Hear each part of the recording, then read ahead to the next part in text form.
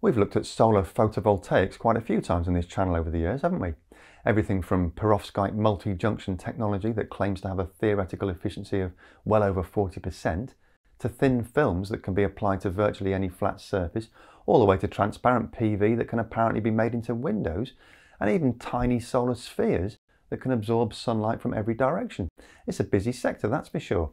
And one major organisation that's doing its best to keep up with all the latest developments is the International Energy Agency, or IEA. They've just published their 2024 analysis of the sector, and it contains some pretty astonishing statistics and projections. So I thought I'd have a chat with one of the report's authors to get a summary straight from the horse's mouth, so to speak.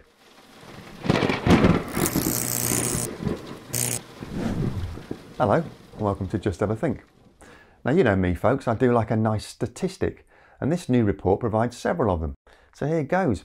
According to the IEA, this solar PV industry now employs more than 7 million people worldwide. Total global manufacturing capacity for solar PV modules jumped from just over 700 gigawatts in 2022 to almost 1200 gigawatts just 12 months later in 2023. New capacity installations also leapt up during that period from about 240 gigawatts to 456 gigawatts. At the risk of sounding like a broken record, China led the way last year with well over twice as much newly installed capacity as the next four biggest markets combined. To put that number in context, the total grid capacity of the United Kingdom, by which I mean all power sources, including fossil fuel, nuclear, hydroelectric, and other renewables, is about 75 gigawatts. So in just one year, China installed four times more capacity just in solar PV alone than the entire UK electricity grid.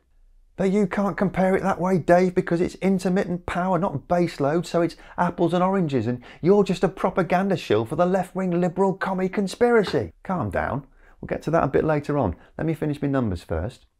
Globally, there are apparently now more than 1.64 terawatts of PV plants, and half of that has been installed just in the last three years. About 700 gigawatts of that overall capacity is located in China. The report also analysed solar PV capacity per capita and perhaps unsurprisingly found that Australia is the clear winner here. There's been something of a boom in rooftop solar installations down under in recent years, and that's helped push our Aussie friends to the top of the pile. What might be slightly less expected is that second place is held by the Netherlands, here in cold and grey northern Europe, followed by Germany and Belgium, with comparatively sunny Spain coming in at number five.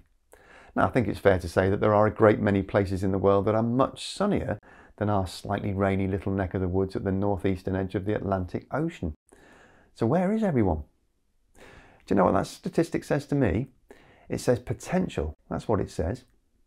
So I caught up with the co-chair of the European Solar Manufacturing Council and lead author of this latest report, Gaëtan Masson, recently to find out more. The PV fleet as it exists for the time being is saving something like 1 billion of, um, of tons of CO2 per year. And that's a very symbolic number. It's saying we are saving something like one gigaton of um, CO2 emissions, and this is a number that's uh, going to develop significantly faster in the coming years.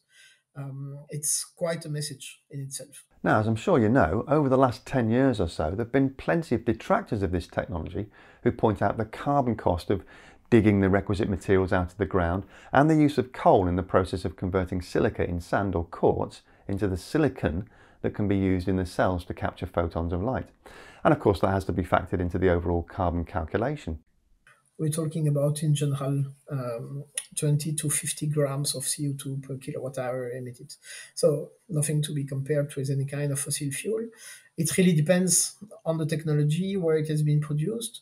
But uh, yes, there is a little bit of coal used in, in today's production of polysilicon. Um, but even when we look at that and we look at throughout the entire value chain, we still end up with numbers which are which are quite low, and that continue to decrease uh, for two reasons. The first one is that we're starting to make wafers extremely thin, and the, the simply the thickness of wafers has decreased significantly in, uh, in the last decade. So naturally, we're using less material and um, and the other point is that we might see um, new technologies changing a little bit in the coming years and more in the future that landscape. We might shift at some point to a technology which is used already in the, the microelectronic industry, which is called epitaxial wafers. So you don't need to crystallize uh, polysilicon. So uh, to make it simple to explain what is epitaxy, it's a bit like 3D printing. It's not exactly that, but that's the idea 3D printing of wafers rather than sewing them from uh, ingots themselves coming from polysilicon being melted and so on and so on. Um, and that simplifies significantly the process and that reduces significantly CO2 emissions. So all things are relative, aren't they? Compared to the carbon cost of constantly extracting, processing and ultimately burning crude oil and methane gas, the contrast is pretty clear. And as more and more solar PV is rolled out, that contrast will only become increasingly stark. We've installed a bit more than 450 gigawatt of PV last year. As a comparison, if we, we look at what was installed 15 years ago, like let's say 2008, we were significantly below 10 gigawatts. And I'm pretty sure when I, when I see what could happen in the coming years that this will accelerate at such a point that in 10 years from now we will not even doubt whether PV might become the most important source of energy in this century, that it will be the, the most important source of energy. Now, the risk of playing devil's advocate here, there are one or two inconveniently wrinkly details that the industry will need to address before it assumes that projected position of apparent global dominance. The first is the question of fossil fuel baseload power versus renewable intermittency, which is the apples and oranges comparison that I mentioned earlier on.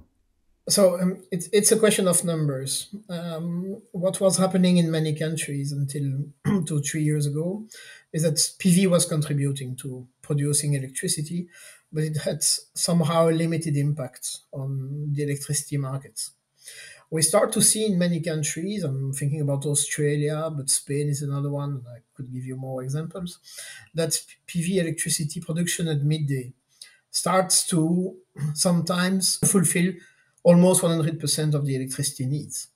And It means that basically in these countries, we have reached such a PV penetration in one decade that basically we need to rethink how to use that electricity. And, and that's quite interesting to see that we have seen another development in, in storage, which can be compared to the development we have seen in solar PV. It's the massive development of, of battery storage. And, and that's the last part, is that electric vehicles offer a very nice way to store electricity. If I'm, I'm looking at the average electric vehicle uh, battery size between 60 and 80 kilowatt hour. Uh, it's significantly more than everything you can install in terms of stationary storage for personal use. So I really think the buffer in terms of storage will come from uh, batteries on wheels um, rather than anything else. And as many of you well informed folks are now aware, there's this thing called the primary energy fallacy, that some commentators fall foul of when comparing fossil fuels with renewables like solar PV and wind. These so-called Sankey charts are showing up all over social media nowadays to help illustrate the point. And if we are talking about that very, very negative concept, which is primary energy demand, um, this is definitively something that we, sh- we should abandon. And I think you pinpoint uh, ex- exactly um, something that we should not do anymore. It's comparing uh, PV production or wind, wind energy production with primary energy demand, which is something which is valid for fossil fuels, but which makes absolutely no sense for renewable energies. But there's a second key question to ask here, which is just what the heck are we going to do with hundreds of millions, possibly even billions of panels that'll be coming to the end of their operational lifetimes in the coming decades? I, I can start with recycling in general. It's from a technology point of view, it's it's it's mature. Uh, from a volume point of view, it's not yet. it, it's just it's still uh, an industry which is which is too young, and and uh, there are plenty of plans and, and recycling schemes which have been put in place, um, and they will start to deliver in the five coming years. So there appears to be a technically robust solution here, backed up with an exponentially growing market for stationary utility scale battery storage, and of course all those millions of mobile batteries on wheels that we call electric vehicles, plus other energy storage solutions for things like industrial heat and not forgetting continental scale electricity interconnectors that already run from east to west and are now being developed from south to north as well, which not only span time zones to bring electrons from where it's sunny to where it's dark, but also potentially seasonal differences as well. But by definition, there will be millions of solar panels all over the place, won't there? So where are developers planning to put them all and how will they address the concerns of local populations? I covered a, a paper a few months back that looked at the amount of available space in the UK for solar and wind. And I think for solar, it was something like only 3% of the landmass of the UK would be sufficient to provide enough solar to power the whole of the country. So, so we're, we're not really talking about filling up every available space. We're talking about quite a small, I think, quite a small proportion of the available space. I think it's very good that you mention it, and it's the same in all countries, and even even globally. Uh, if we look at, at the amount of solar electricity that would need to completely decarbonize the, the economy, including industrial uh, industrial applications, um, we need more or less a square of 1,500 kilometers um, in which could be installed in a desert somewhere. I would say the three percent that you mentioned are per- perfectly right, and, and sim- similar numbers apply for for the countries. But social acceptance locally is very very important. So when it's it's not a company coming and saying I'm going to install 100 megawatt in the field next to to your house, but when there is a real discussion with, with local stakeholders and maybe some adjustment. And uh, let's let's be frank, we have plenty of empty space in, in this world. Agrivoltaics is an interesting one for me. I've covered agrivoltaics a few, a few times, and it seems as though not not only does it allow farming to continue underneath and, and allow you know grazing land for sheep and other livestock, but some reports, some studies suggest that it, it could even be actually beneficial for certain crops to grow underneath bifacial uh, semi-transparent polar uh, solar PV because it, it, it, shades it from the sun slightly. Yes, com- com- completely. Um, especially in the south of Europe um, and, and North Africa, for instance, we start to see very nice studies about agrivoltaics being used to protect crops that possibility to add revenues coming from electricity generation to the traditional agricultural uh, job. It must be done properly, just to make sure that energy production is not replacing, even if the percentage is extremely small, not replacing um, agriculture, which might play negatively Uh, in terms of social acceptance. Now, there's a whole host of other commentary in this really quite comprehensive analysis drilling right down into individual statistics by country, and I've left a link in the description section below so you can peruse it at your leisure.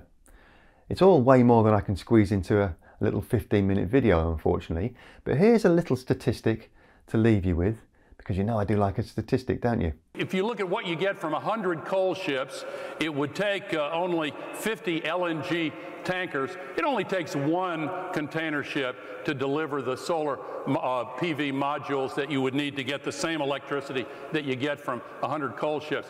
Discuss. And I'm sure you will discuss it, as you always do, very energetically in the comment sections of my videos, which is something I think is an extremely healthy democratic pursuit and for which I'm always very grateful each week. So if you have a burning desire to express your opinion on this particular topic, then as usual, the place to leave your thoughts is just below this video on my YouTube page. That's it for this week though.